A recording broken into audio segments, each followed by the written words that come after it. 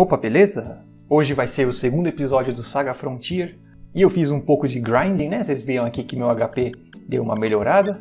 Consegui algumas skills novas também. E eu sei que eu fiquei de falar, né, a respeito desses personagens, mas antes disso a gente tem que fazer uma outra coisa mais importante ainda, que é recrutar a segunda aba de personagens aqui no bar de Scrap, que pode ser acessada a partir de Korong. E o tema do vídeo hoje vai ser a Junk Shop e o trick, né, o gold trick aqui do jogo.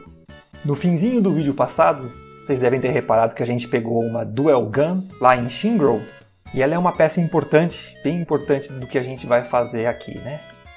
A primeira coisa que você faz é entrar na loja de armas do dinossauro e falar com ele. Ele vai cobrar uma taxa.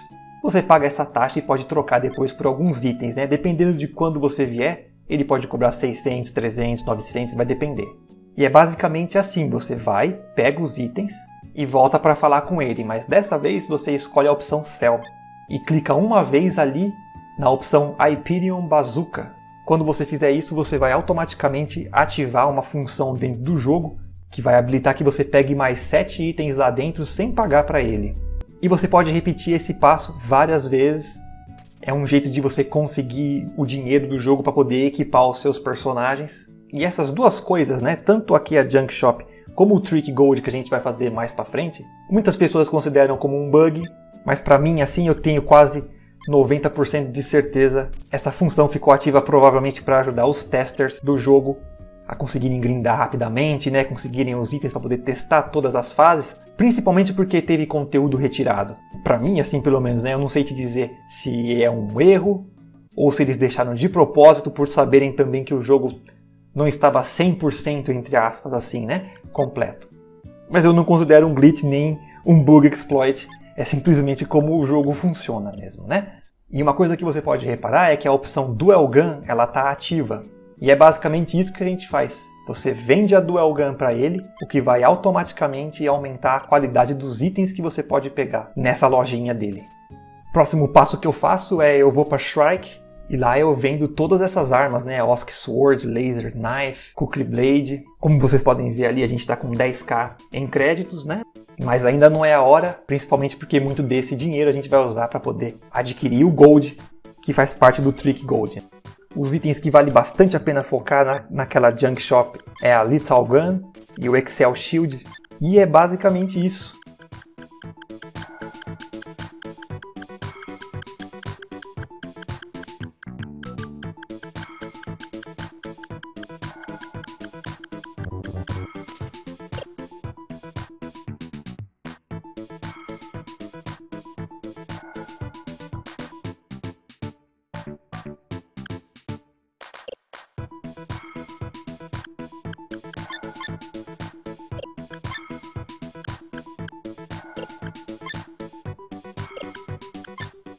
Quanto à parte do Trick Gold, você pode adquirir essas barras em Nelson, né, falando com o NPC. As cidades são bem pequenas, é facinho de encontrar ele, ele está ali no bar. E depois você vem aqui em Korong, onde você pode vender esse gold. E o truque é você abaixar, né, vender todas as unidades até que o preço fique zero. E você vende todas elas, mesmo que você ainda tenha algumas ali, como no caso ficou 7. E aí depois você sobe tudo até chegar no número 480.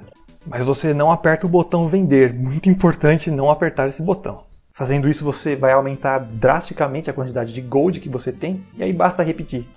Vai até Nelson, consegue o gold, volta até aqui, vende e repete até você ter o suficiente para equipar todo o seu grupo. É basicamente é isso, eu vou ficando por aqui. Se couber mais algum áudio de mecânica, eu tento encaixar no meio né, desse vídeo.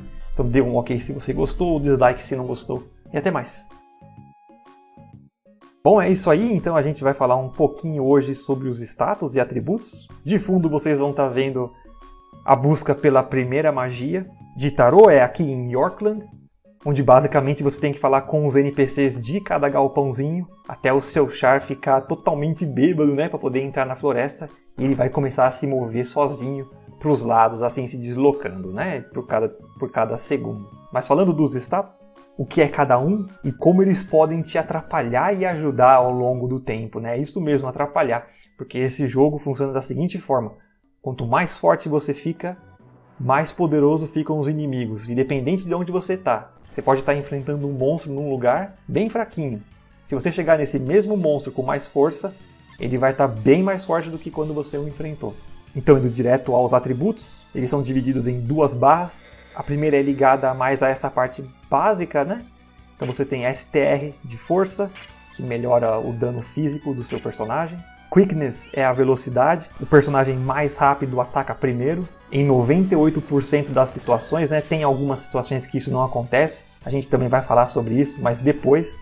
Int é o dano mágico e também dá uma melhorada na chance de aprender skills em geral, não só as de dano mágico, mas também as de dano físico. E ele é parcialmente o dano da sua pistola. Então, se o seu personagem for utilizar armas de fogo, ele também vai ter que melhorar a int. Will é dividido entre três partes. Ele influi também parcialmente no dano das skills, na precisão do seu personagem e ele é parcialmente o dano da arma de fogo. Então, int e will para suas armas do tipo pistola. Physic é a resistência, em geral, do seu personagem a status, não só a resistência também, mas como a recuperação dele. Defense é a defesa dos equipamentos e Vit é a defesa natural do seu personagem. E ela também dá uma resistência a sono. Após esses status, você também tem outros parâmetros como HP, LP, JP e WP. HP é o máximo de vida, né? São os hit points. LP é a sua vida. Toda vez que você morre, você perde um ponto de LP. Se zerar, o seu char não volta mais para a batalha. Você tem que para algum lugar para recuperar ele. Pode ser dormir em algum in assim, né? Se você perder todos os LPs do seu personagem principal, é game over. JP é basicamente a mana. Sempre que você usar uma skill mágica, você gasta JP. E WP é a mana para as skills físicas. Então, sempre que você usar uma skill de espada, por exemplo, você vai gastar WP. Se você usar uma magia, você vai gastar JP. E é basicamente isso, acho que deu para falar sobre os atributos. No próximo vídeo vocês verão como ficam os personagens equipados e a gente continua indo atrás das magias, tá bom?